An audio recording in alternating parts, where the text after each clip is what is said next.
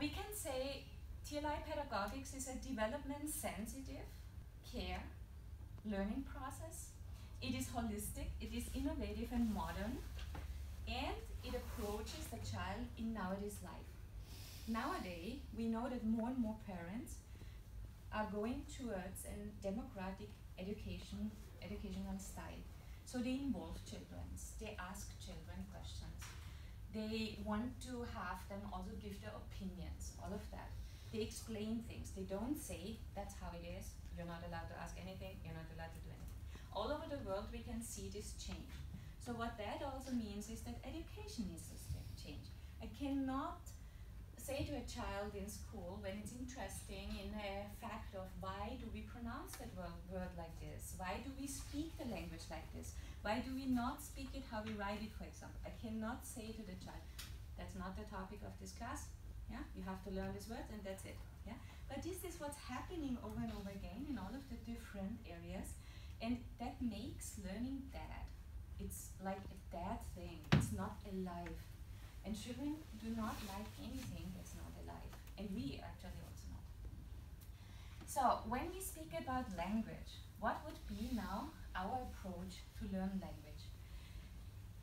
The children learn language especially through listening and speaking. That's number one. No person in this room learned mother tongue. No one. Yeah? You never had a lesson in mother tongue.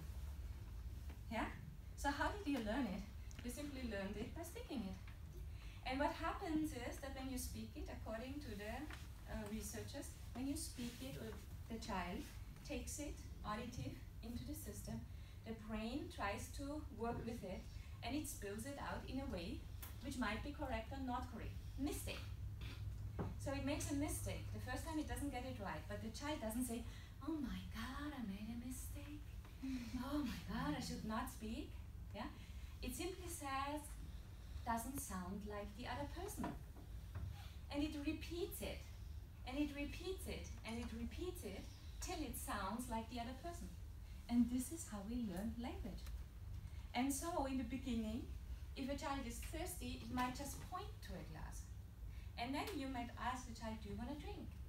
You know what the child believes? It believes that the glass is a drink. They want a drink, because this is what it hears. Yeah? Later, when it points to the glass and says, drink, and you say, shall I give you the glass, it, make, it understands, oh, that's the glass. Yeah? So this is kind how the brain works, and this is kind of how we should learn language.